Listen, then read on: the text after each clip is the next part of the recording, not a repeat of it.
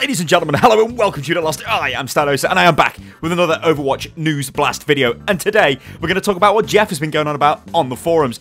Quite a few posts off Jeff just recently and there's quite a bit of information here, so I'm going to wrap this all up together in a nice little funky video. So the first thing we've got is the end of Season 4. This will end towards the end of May and this is what Jeff says. Season 4 will come to a close towards the end of May. The competitive play card will update with a timer later in the month with the exact time. Season 5 should start around the 1st of June. So of course this means if you haven't done your placement games, well go and do your placement games and if you're trying to get somewhere like maybe hit one of your goals on the ladder, maybe get into Platinum, get into Diamond, get into GM, even get into Top 500 or Master or whatever, now is the time to go out there and start playing because your time's going to run out and you don't want that to happen. The next thing we've got is uh, it's coming in the next major content patch. Now, of course, this is in reference to a Sombra sit emote. So whenever the next major content patch drops, which you know we all seem to think this is event six and it's going to happen around the anniversary of Overwatch. I mean, who knows? Um, when that happens, then there will be a well a, a sit emote for Sombra. So if you've ever wanted the sit emote for Sombra, well, you're going to get it, ladies and gentlemen. So rejoice. And then somebody asked about the PTR res feed, change it to be all on one line. Now, this is the way the PTR kind of works at the moment. It um, shows Mercy's ultimate off in the kill feed, and it does kind of look a little bit bloated, but there's a reason for that, and this is what Jeff says. We debated doing it this way originally, but opted for the direction we choose for a few reasons. If a player gets a big multi-kill, it blows out the feed, allowing you to know that something big just happened immediately without even looking at the details. Think of Reaper getting a team wipe with Death Blossom. We wanted the same feel to a Mercy Res. We felt like it should be that impactful. While the kill field field is why do we always say kill field? What the hell? While the kill feed is highly informational, we also want it to be an intuitive gauge for players without having to overly study every detail.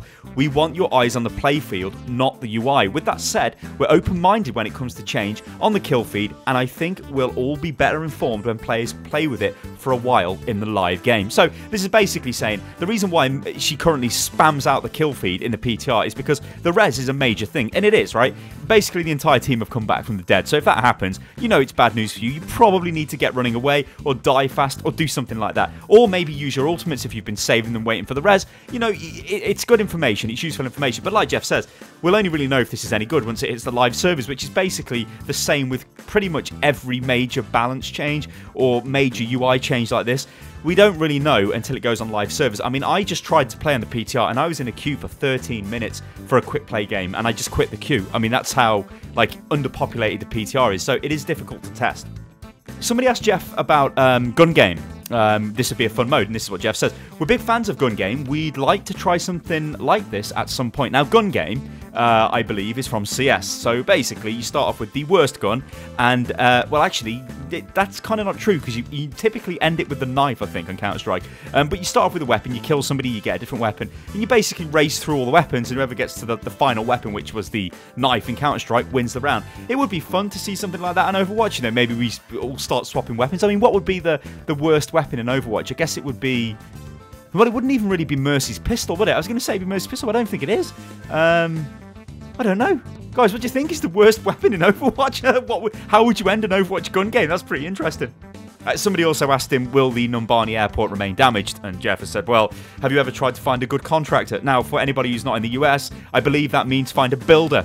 Um, checkatrade.com. That's UK, right? Yeah. I'll get my coat. So somebody asked about the current PTR changes, and Jeff said nothing is going live today. We're still testing on the PTR. We constantly evaluate changes, so yes, we're looking at them closely. Right now, we're mostly okay with things minus a few bugs, which remember that's what the PTR is for, in making sure there's no bugs. We are looking at the change to Orisa's damage, however, and will likely make changes to then tuning on the PTR.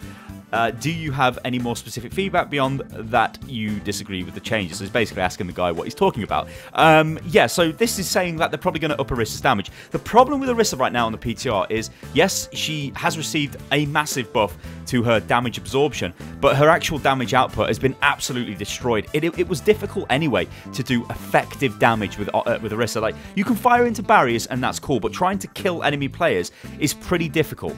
On the PTR, she does less damage, so it's even even more difficult now. So she's in a bit of a weird state where she can just sort of put barriers down, but she's got no I guess sting in the tail. I mean, I covered this in detail in my Orisa video, but yeah, she's a complex one. I think she will see more changes before she actually goes live. And like Jeff said, that you know she will. And then finally, um, somebody asked me about saving and exporting highlights. Now, this is something that we do need, and this is what he says. This is the current focus of the feature team, one of the smaller development strike teams on the Overwatch team. The team is working extremely hard on this and has been for months. Expect more details early in the summer. This is good. We need replays. We need to be able to save our game. You think how uh, like we will become much better players as a result of having that. Look at all the other Blizzard games that have got this. You know, you look at your StarCrafts and all of that stuff. You can load replays in and look at what you were doing in the game and analyze exactly what you've done. This will mean my overanalyze series will be awesome because I'll be able to just load the game in and fly around with free cam and check out what's been going on, check out positionings, check out all kinds of stuff. It would be awesome and it'd be easy for you guys to send replays into me because you won't actually have to record anything, that would be awesome. But beyond all of that, it's great for every player because you can just go in and watch your games back and think, okay, I should have done this, I should have done that. So we need that. Anyway, guys, this has been an Overwatch News Blast. Jeff has been quite active on the forums, and uh, it looks like we're getting no major PTR update today, which I kind of thought we might have done but there are still a lot of things being worked on. Let me know what you think about all of this in the comments below, guys. I've been Stylosa. This is Unit Lost. You can follow me on Twitter, which is at Unit Lost Gaming, and you can join the Unit Lost Discord server, which I think is dead close to 10,000 members. That is uh, discord.gg forward slash Unit Lost. And I'll catch you next time, guys. Toodaloo. Oh, and uh, one more thing, ladies and gentlemen. This literally happened as I was editing this video. The World Cup nominations are all out now. So if you go to the World Cup page, you can see who is the committee for your nation, and you can see the brackets that they've been placed in and the teams that they'll have to play in the qualifier phase. All right, guys, I'll catch you on the next one.